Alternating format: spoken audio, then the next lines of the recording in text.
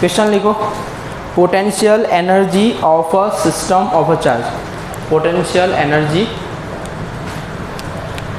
ये दिख रहा है? ठीक है। क्या लिख रहा हूँ? Potential energy potential energy of a system of charge इसमें से न्यूमेरिकल्स आ सकता है। ठीक है? इस कंसेप्ट को समझने के लिए सबसे पहले आपको थोड़ा ध्यान देना पड़ेगा। थोड़ा ज़्यादा। क्योंकि उसमें क्या है कि आप जो टॉम है वो मिसमैच हो सकती है। तो पूरा ध्यान होगा ना तभी मैं आगे से इसलिए वार्निंग देता हूँ। कभी आप तक वार्निंग नहीं दी बट ये भी ईजी है बहुत ईजी है। एक दो बार समझाऊँगा समझ में आ जाएगा। बट थोड़ा उधर उधर करना पड़ेगा। ठीक है तो मैं ऐसा कंसिडर करूँगा कि मेरे पास तीन चार्ज है। कितने चार्ज है? Q one Q two and Q three मेरे पास तीन चार्ज है। और तीनों एक जो चार्ज है वो इनफाइनाइट डिस्टेंस पे है। कहाँ पे? कितना समझ में आ रहा है? तीन चार्ज है। कितने भी हो सकते हैं। कहाँ पे हैं? अब हमारे पास एक फॉर्मूला है। V is equal to W by का तो एक काम करो। V is equal to K Q by R distance कहाँ पे?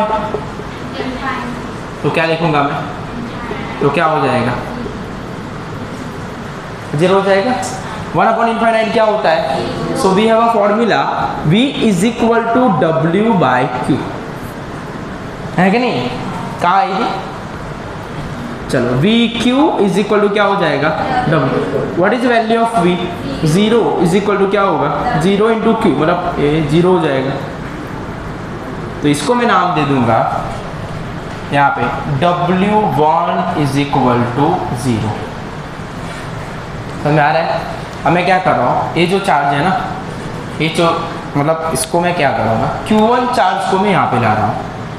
कहाँ पे ला रहा हूँ? तो ये अपना कौन सा चार्ज था? Q1 कौन सा डिस्टेंस पे? है तो ये इसका वर्क क्या हो जाएगा? कितना समझ में आ रहा है? नहीं आया। चलो अब देखो।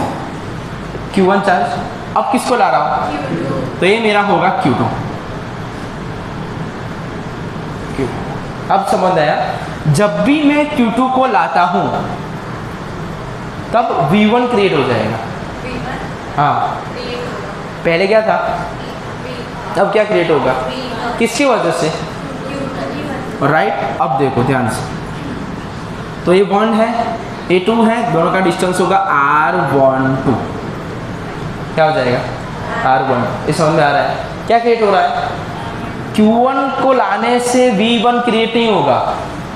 Q2 को इन्फानाइट से लाने के लिए तो मैं यहाँ पे लिख रहा हूँ V1 one is equal to K Q one by R one two equation ए हमारा इक्वेशन नंबर वन था ए इक्वेशन नंबर टू है।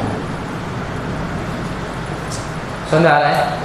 कोई डाउट तो Q1 को इन्फानाइट से लाने के लिए वर्क क्या हो जाएगा? क्या हो जाएगा? अब देखो, मैं क्या कर रहा हूँ? V is equal to W by Q समझा रहे मैं क्या बोल रहा हूँ? अब क्या करूँगा यहाँ पे? इसको सामने भेज दूँगा। तो V इज़ इक्वल टू यहाँ पे मैं लिखूँगा V1 one we one create हो रहा है ना? क्या क्रिएट हो रहा है? ये क्या था? ये क्या था? इसकी जगह पे क्या लिखूँ? टू क्यू टू क्यों किसकी वजह से? बस, ये सामने जाएगा।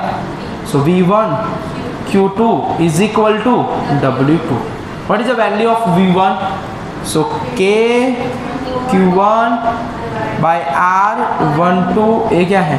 तो ये एज इट इज़ आ जाएगा, ये हो जाएगा कितना समय आ गया? कंफर्म कोई डाउट नहीं है? बस यहाँ पे लोग याद रखने में तकलीफ़ हो जाती है। अगेन मैंने, मैं Q1 लाया। जब भी मैं इन्फानाइट डिस्टेंस से Q1 को लाता हूँ, तब वर्क क्या हो जाएगा? ज़ीरो वाई बिकॉज़ इन्फानाइट से ला रहा हूँ तो वी भी ज़ीरो हो जाएगा। जब वी ज़ीरो होगा तो फॉर्मूला के according zero into Q is equal to W तो हमारा ये वन ज़ीरो हो जाएगा। अब मैं, ये तो था ही, इसको ऐड कर दिया। अब Q2 आएगा तो कौन क्रिएट होगा? V1 तो हमारा फॉर्मूला क्या है? वी इज़ इक्वल टू लेकिन V1 हो जाएगा। क्यों? V1 Q2 की वजह से V1 क्रिएट हो रहा है, इसलिए। पहले को पुट किया। दस समझ आ गया। चलो, अब देखो। अब मैं क्या करूँगा? Q1 का काम हो गया। Q2 का काम हो गया। किसको ला रहा हूँ? Q3 तो ये जो पॉइंट है मतलब दिस पॉइंट ये क्या होगा अपना? Q3 अब Q3 आने से कौन क्रिएट होगा? बस बस बस बस। यही मेरा पर्पस था Q3 आने से V2 क्रिएट हो जाएगा। लेकिन देखो ए वन है ए टू है ऑलरेडी थे, कौन आया? Q3 तो मैं क्या करूँगा? इसको लिख दूँगा। आर वन थ्री क्या था ये? मतलब ऐसा कुछ, ठीक है? आर टू थ्री ओके कौन आया? क्या क्रिएट हुआ? अच्छा V2 क्रिएट हुआ। ध्यान से देखना। सो so, V2 क्रिएट हुआ इसकी वजह से? तो मैं लिखूँगा।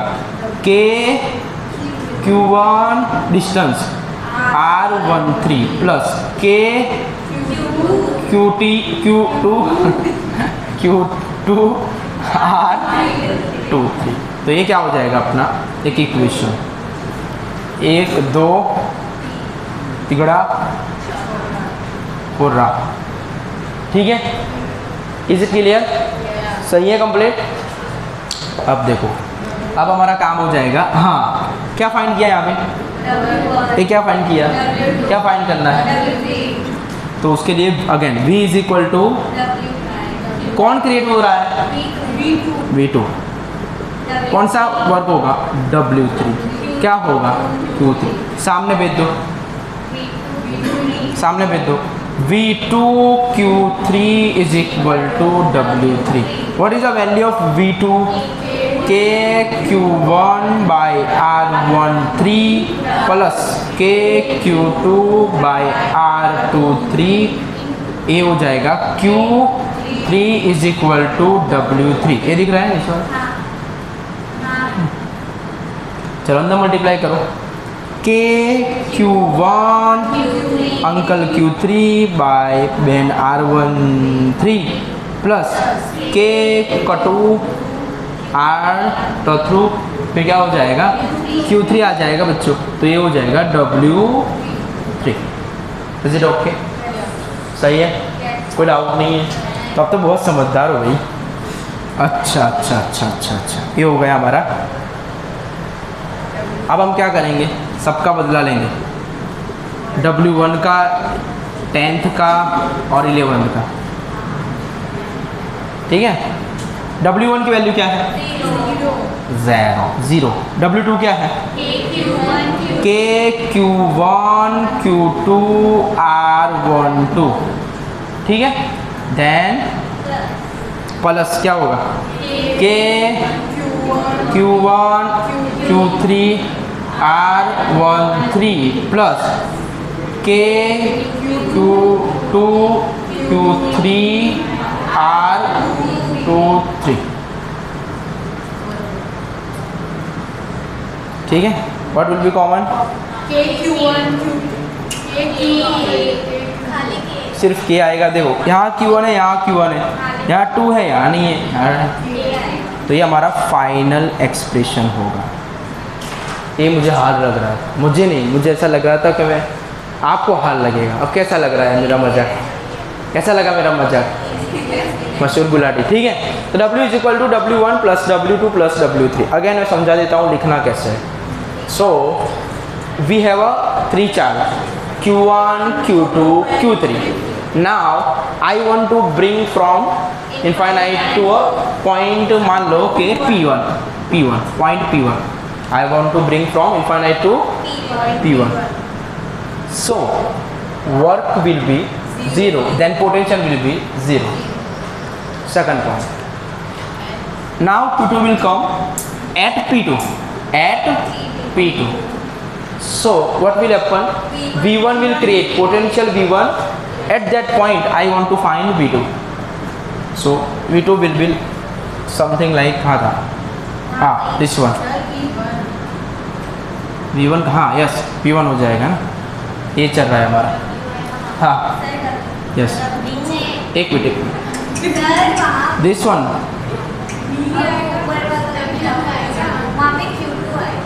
ये नीचे। ठीक है। वो रिमूव हो गया था ना इसके लिए। चलो। हाँ। सो so, मैंने क्या बोला?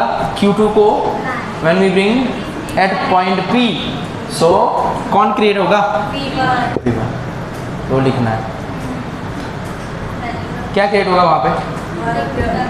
To work to then now now when we bring Q three at point P three so we to will create तो इसका ये अलग अलग किसकी वजह से? दो की वजह से। Q1 Q2 और वो डिस्टेंस डिस्टेंस बिटवीन ए ओकम ओके? सही है। सो so, मैंने क्या किया यहाँ पे? V is equal to W by Q V की जगह पे क्यों लिया V2 क्यों V2 because you know that W की जगह पे? W की जगह पे? वेरी गुड क्या बात है। ऐसे बंदे हर जगह मिलने चाहिए समझने वाला। हाँ तो कोई क्या हुआ? वीडियो चालू है टिकटॉक चल गया तो ये तो क्या है? ए वेलापन चल गया तो कुछ नहीं है। चलो फटाफट लिखो। इसको आप वर्ड्स में भी लिखना, ऐसे नहीं। है ना?